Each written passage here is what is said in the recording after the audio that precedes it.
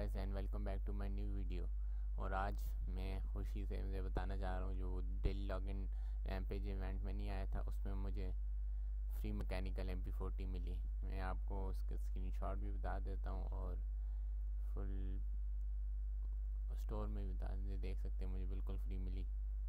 Rare item मुझे मिला है, वो भी मैंने कोई डायमंड खर्च नहीं किया, वो भी मुझे उससे डेली लॉगिन से मिला।